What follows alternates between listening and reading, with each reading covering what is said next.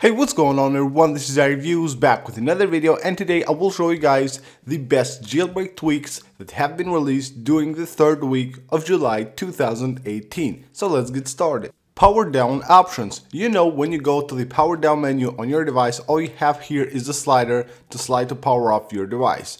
But if you have a jailbroken device, sometimes you need to respring it. With this tweak installed, all you have to do is just tap the button right there and this will turn into slide to respring. Tap once again and then it has power off. So respring power off just by tapping this button right here.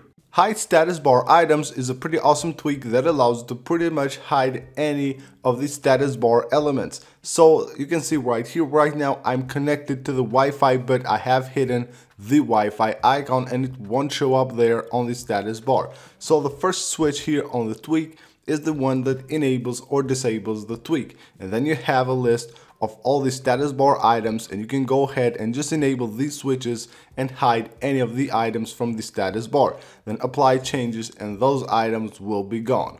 Malipo, this is a tweak that allows you to change the charging sound that you get when you plug in your device to charge. So here you enable the tweak, you can enable or disable vibrate on charge, then you have the charging sounds right here.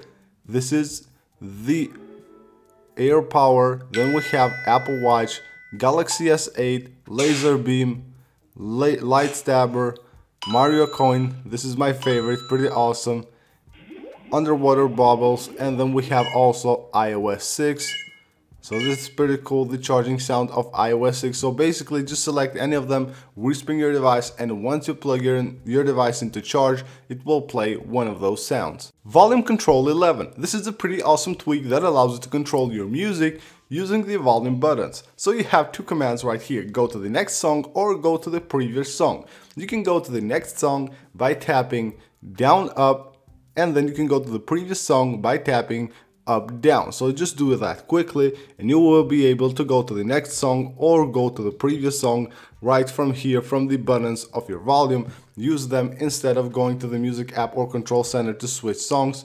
So it's pretty pretty awesome. So as i said down up to go to next up down to go to the previous song Bar in progress is a small tweak for the iMessage app. Now what it actually does is that it will add like a tiny bar right here that goes across the screen when you're sending a message. That's like a progress bar for the message. So you tap here to send the message and you could see that goes by pretty fast, that blue line that goes here, which indicates the progress of the message sent.